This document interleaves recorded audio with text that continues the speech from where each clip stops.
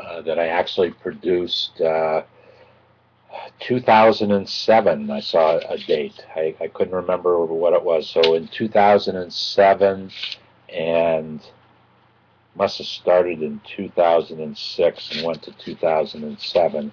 Uh, I, I produced about 65 shows. And here's three, four, five, six, seven. Here's seven uh, DVDs of uh, seven shows. And uh, I started to talk yesterday about um, mentors of entrepreneurship and how important uh, it is for you as you're starting business, or even if uh, you have an existing business and you want to grow it, that you engage uh, a, a team uh, that I call mentors of entrepreneurship. a mentor is a teacher, uh, and these folks uh, will take your best interests uh, and help you start or, or grow a, a, or, or, grow your business. Sometimes they will charge for their services. Um, if you use friends, uh, folks who actually know you, uh, quite often they will not charge for their services unless there's a, a specific task uh, that needs to be done as opposed to sitting down with you. And and and I re- I suggest rather than uh, dealing with each of these individuals on a one-to-one basis all the time. That's the only way that you deal with them. To deal with them as a team, uh, and maybe have uh, host a lunch uh, for your mentors of entrepreneurship, uh, and inviting them. Now, who should be a, a part of your team? Well, um, I did a um, I did a show uh, that I called Starting a Business, and I, a friend of mine, Peggy Stuckey, uh, was actually starting her business. And uh, I asked Peggy, and this was, as I said, back in 2000 and I guess it must, yeah, it was, uh, this is January of 2007. Uh, Peggy uh, had a business idea, and we talked a little bit about that idea five years ago now. And I asked her, when she was in these startup stages, if she would take her business plan and present it to a group, a team of mentors of entrepreneurship. Uh, and on that team was uh, my friend, uh, these are all folks that I knew. Uh, Bill was the business strategist. Uh, Chris must have been the technology guy. Tom was the attorney. Uh, John was the marketing guy. Uh, Roger was the banker. Yes. Uh, so I might have been trying to remember who that Chris was. Uh, but you need a. Uh, don't know if Chris was an accountant. He probably was an accountant, but I can't think of who that is. Anyways, uh, an attorney, small business attorney. Uh, I actually have uh, four different attorneys uh, that I consider to be on my team. one, Robert, specializes, well, when I need a a, a legal document written uh, of some sort, particularly an LLC, limited liability uh, company, corporation. I ask Robert to do that. Uh, he does it very quickly for me. He does it very, from a price standpoint, very reasonable for me. Uh, and so he has become the, my go-to person on, a, on an item like that and and and and Robert knows a lot about. Uh, he deals a lot of with a lot of small business owners. So there's other uh, issues that uh, that he could uh, possibly deal with. then when it comes to some bigger issues of business, uh, particularly in the area of raising capital. I had uh, I have another friend who I go to. Actually, went to that firm. He, he works a, a large law firm. Robert works by himself. Uh, this gentleman works uh, uh, by him uh, in a large firm, and I went to him. I had a, a, a legal issue, a potential court case. I was uh, suing somebody to get something back of mine that belonged to me, and they wouldn't give it to me. And he told me that he actually was not best suited for uh, litigation. So he gave me, Alan gave me the name of uh, another associate in his firm, and I uh, used that associate. Not a great deal. I, I kind of took charge myself, and there were certain things that I needed uh, an attorney's name to. So I asked, uh, I asked Alan to help me out on that.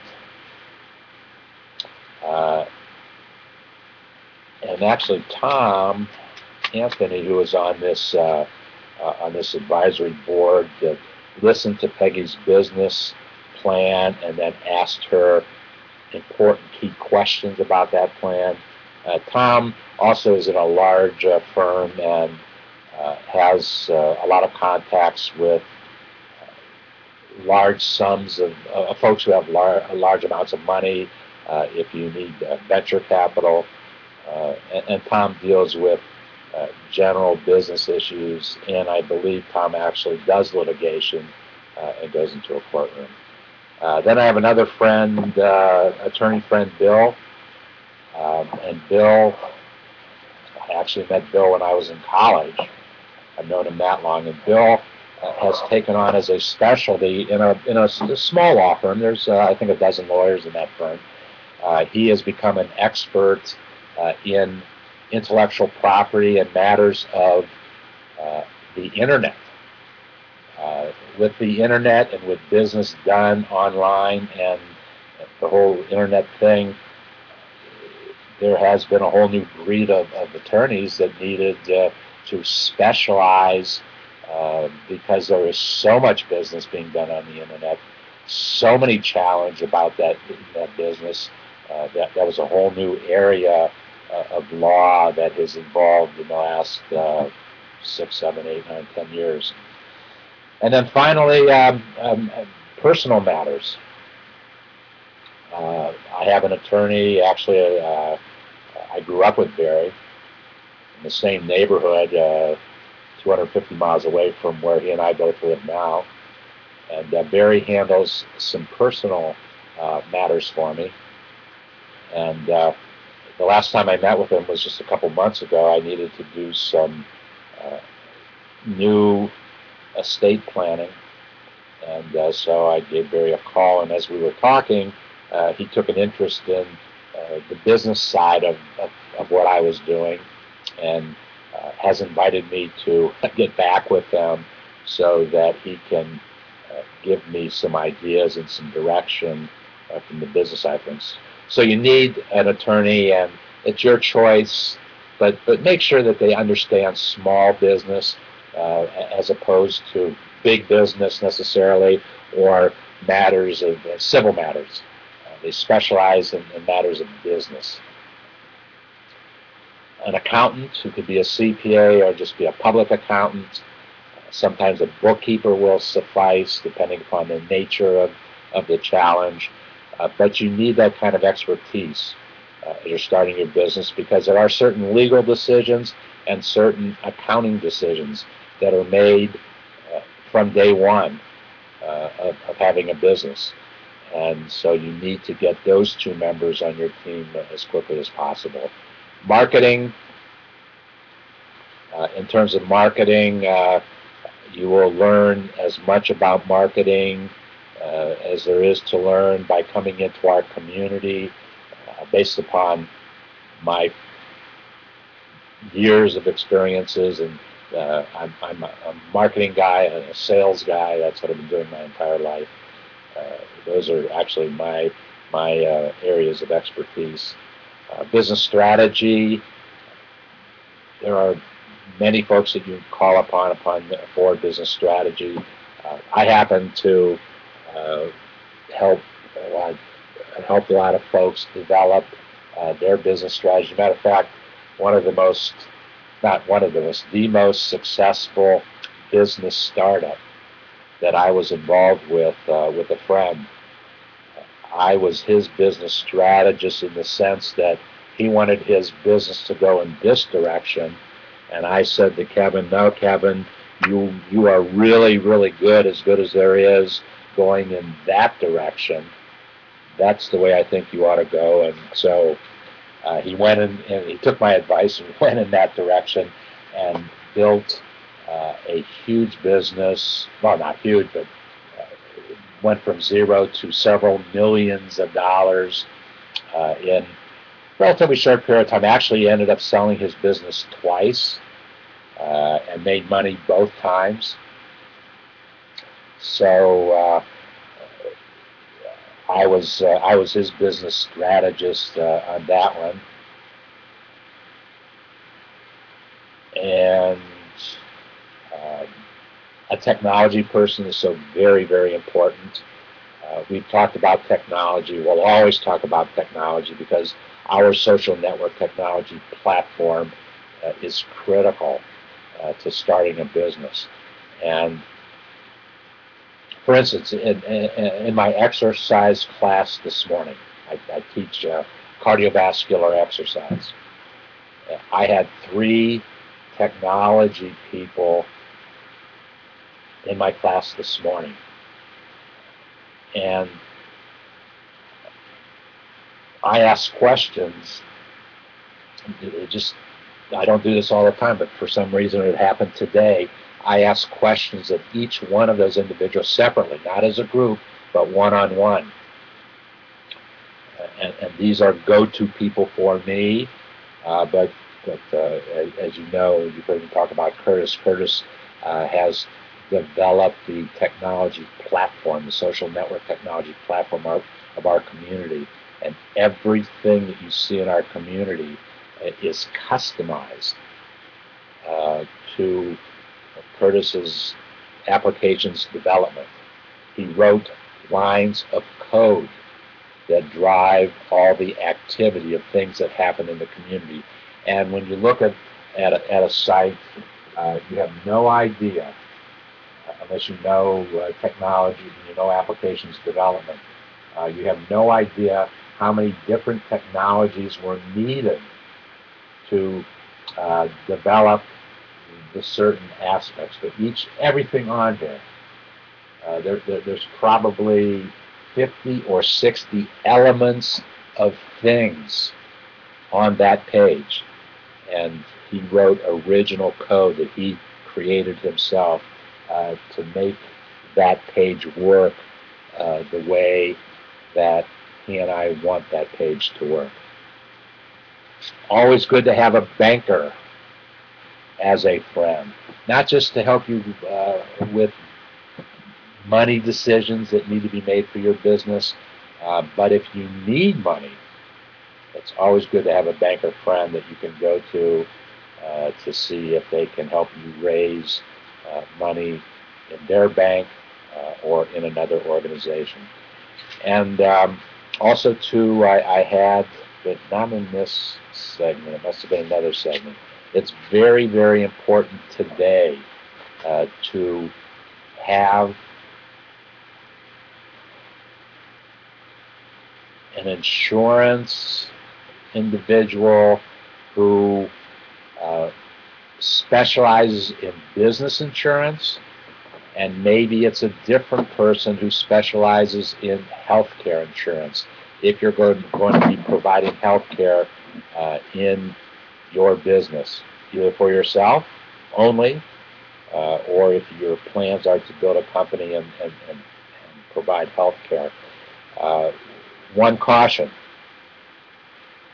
if in the year 2014 uh, your business has 50 employees or more, you will be mandated, you will not have a choice about providing health care insurance for your employees. And by mandating, I mean it's not just you, you have to have health care, but here's a health care plan that you have to have at minimum.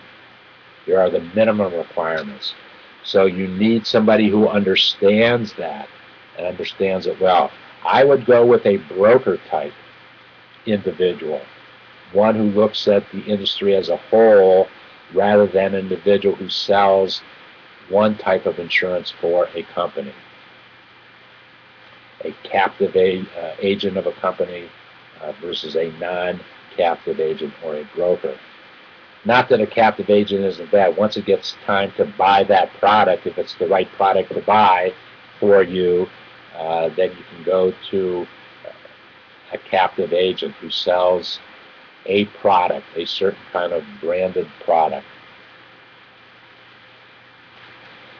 Uh, also in uh, I found some other shows uh, that I, I, produced. I did quite a few shows on CPA and uh, and uh, business partners and business planning. Actually, CPA category was a big one. Uh, I hope to. Um, I'm going to try to figure out how to let you view uh, this. Maybe all I need to do is put a player, have a player, a DVD player, play it, show you, and then um, comment on it. We're gonna we're gonna work with that.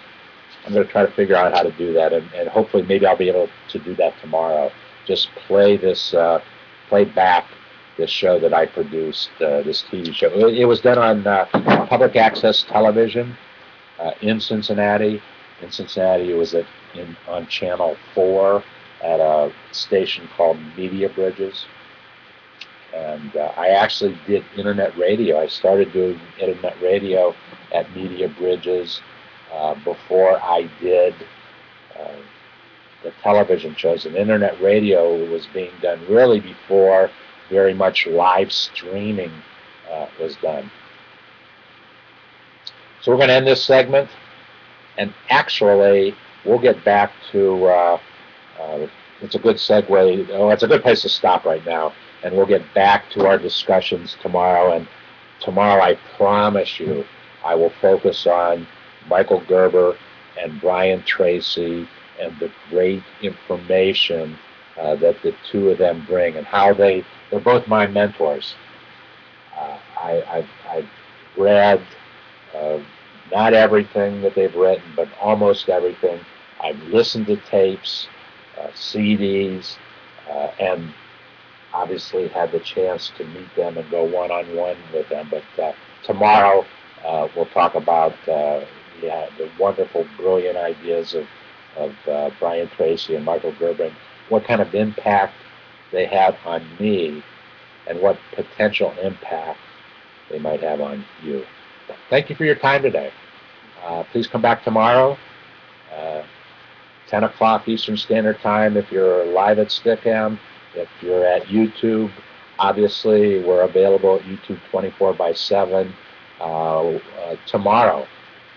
Tomorrow we will be producing uh, our 50th segment on starting a business.